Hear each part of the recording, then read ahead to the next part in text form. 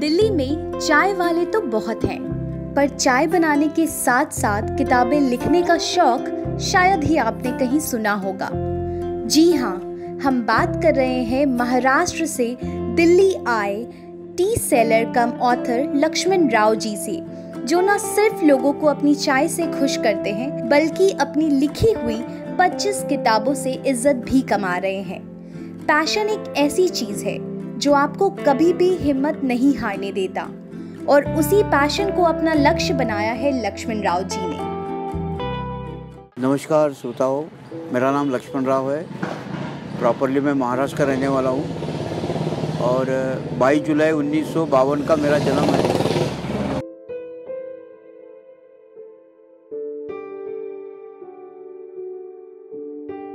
मैं अपने गाँव में गुलशन नंदा जी की पुस्तकें पढ़ता था हिंदी में, जबकि मेरी मातृभाषा मराठी है। और मैं महाराष्ट्र में अमरावती ज़िले में एक छोटा सा गाँव, तड़ेगांव, देशासर, वहाँ मेरा जन्म हुआ। और आठवीं कक्षा तक मैंने वहीं पढ़ाई की। और वहाँ से मैं तीस जुलाई उन्नीस सौ पचहत्तर को दिल्ली आ गया। यानी कि उन्नीस से लेकर अब तक मैं दिल्ली में हूँ। और मेरा उद्देश्य लेखक बनने का था।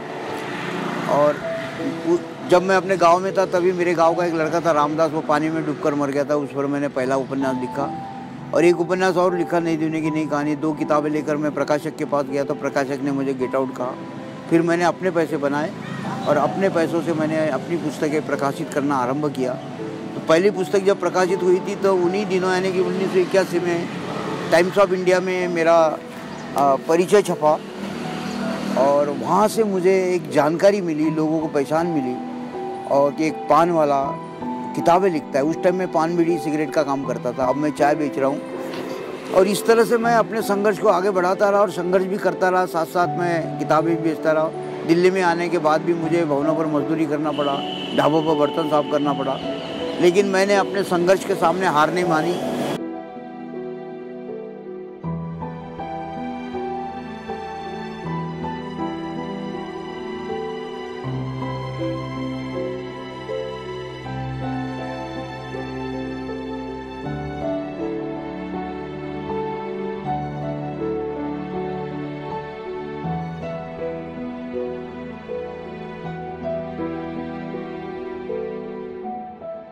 यहाँ मैं पिछले चौवालीस साल से मैं बैठा हूँ और मेरी ये पुस्तक है, जो फ्लिपकार्ट अमेज़ॉन और यहाँ पर भी बिकती है।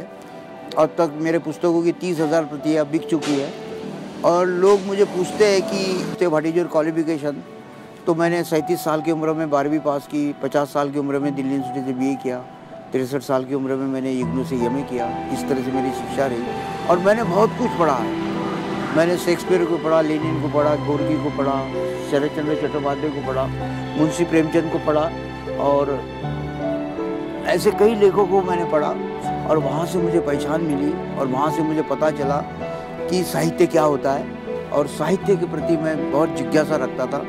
मैंने बहुत विद्वानों को पढ़कर ये सोचा कि मैं कुछ भी नहीं हूँ और मैंने पढ़ना चाहिए, अध्ययन भी करना चाहिए एजुकेशन भी बढ़ाना चाहिए।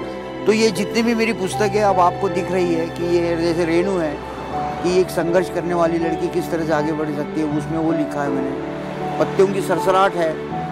वो उपन्यास ऐसा है कि जैसे अंबानी जैसा एक उद्योगपति अगर छोटी सी भूल अगर कर दे या छोटी सी बीमारी से हताहत हो जाए तो वो अपनी जीवन, ज़िंदगी बर्बाद कर सकता है। वो एक उपन्यास है।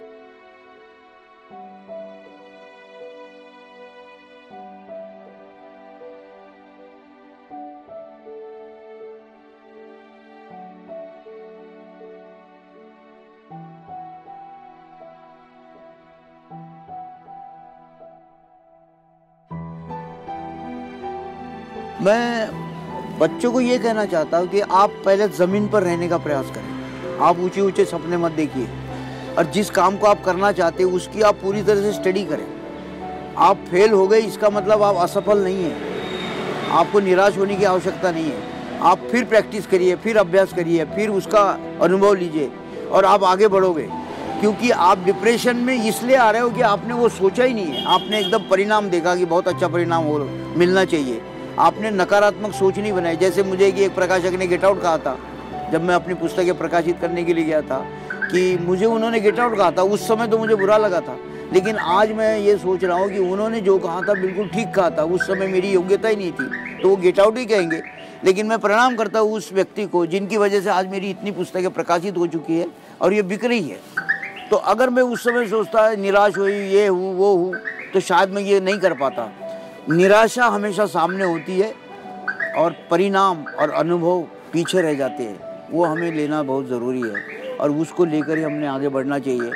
असंभव ऐसा कुछ नहीं, आप अपने लक्ष्य की तरफ़ देखिए और आगे बढ़िए। आप अपनी सफलता को हासिल कर लोगे।